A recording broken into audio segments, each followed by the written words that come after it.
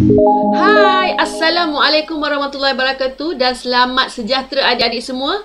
Apa khabar hari ini? Okey, bersama-sama dengan adik-adik semua ni adalah Cikgu Shenari. Okey, kita berjumpa lagi. Okey, kali ini Cikgu akan uh, mengajar ya uh, PDPR untuk uh, murid-murid di tahun 4. Okey, tak kisahlah tahun 4 boleh, tahun 5 dan 6 pun boleh juga ya sebagai ulang kaji.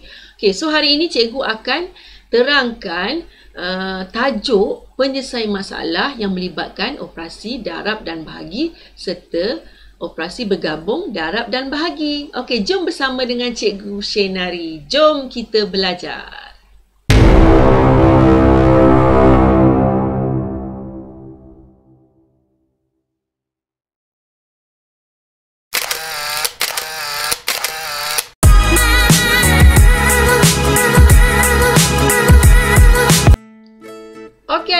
Tajuk pembelajaran kita pada hari ini ialah penyelesaian masalah iaitu darab dan bahagi. Mari kita lihat apakah objektif pembelajaran pada hari ini. Okey, objektifnya adalah 1.7.2 menyelesaikan ayat matematik operasi bergabung, darab dan bahagi dalam lingkungan 100,000.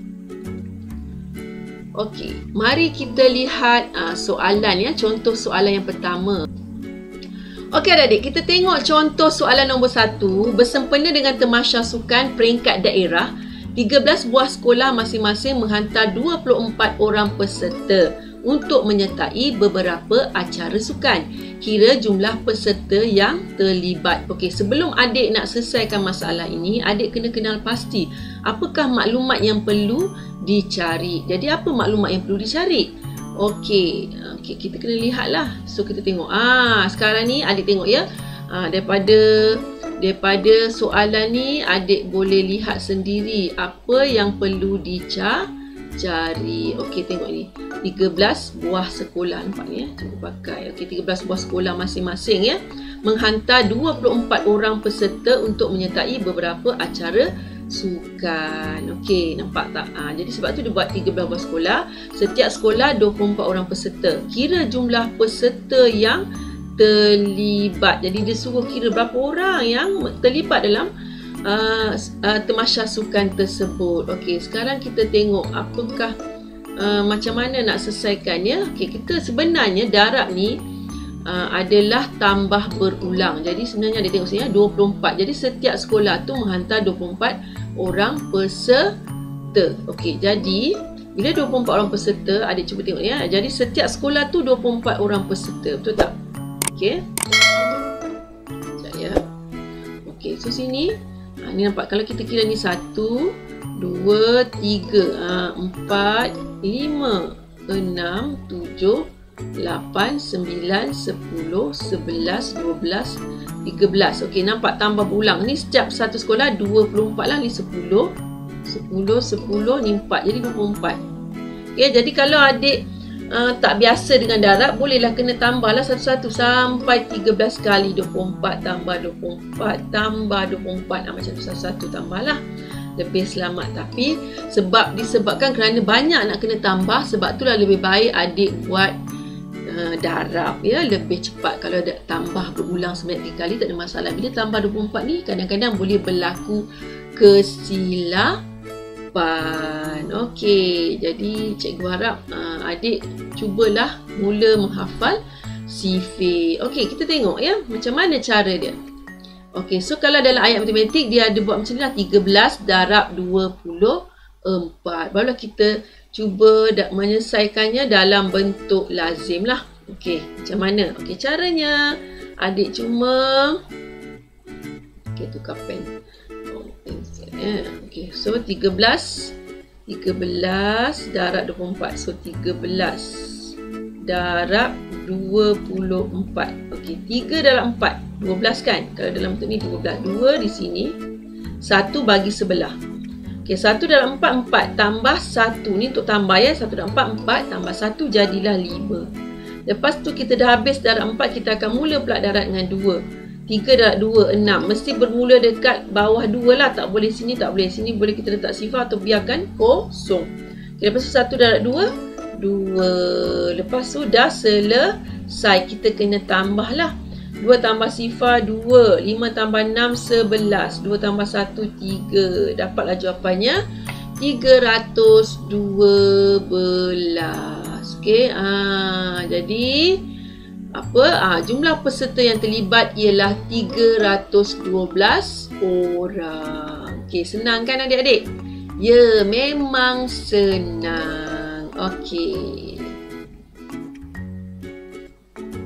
Okey adik-adik, kita pergi pula kepada soalan ya, contoh soalan nombor 2. Okey, contoh soalan nombor 2. Okey, jadual menunjukkan bilangan kasut songket dan kasut kanvas batik yang dijual bersempena dengan Pesta Batik Malaysia.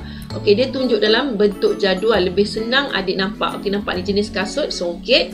Bilangan dia adalah 1060. Kanvas batik 15 kali bilangan kasut songket. Ha, 15 kali. Maknanya 15 kali tu maknanya dah darab. Okey, soalannya berapakah bilangan kasut kanvas batik yang dijual? Ha, dia nak minta yang batik ya. Sekarang songket telah diberi tapi sekarang dia suruh kira yang kanvas batik ni berapa. Jadi seperti biasa adik akan tengoklah. Ha, buat dulu ayat matematik. Nampak tu 15 sebab dia kata 15 kali kan. 15 kali tu maksudnya 15 darab lah. Okey, 15 kali tu maksudnya 15 darab. Okey. Jadi Uh, sekarang cikgu nak tunjuk uh, kita buat dalam tadi kita buat dalam bentuk lazim sekarang cikgu nak tunjuk kita buat dalam bentuk uh, lattice ataupun kekisi ya untuk sebab dia empat digit ni kadang-kadang melibatkan dua nombor digit. Uh, kadang-kadang selalu pelajar ada salah lah. So yang ni cara yang alternatif untuk adik uh, mempraktikkan atau mencubalah gunakan. Okey seperti biasa adik kena ambil yang nombor besar dulu letakkan nombor besar dulu. Sebelum tu dekat buku tulis kena buat macam ni lah kotak-kotak tu. Kalau kotak yang empat tu empat segi kan.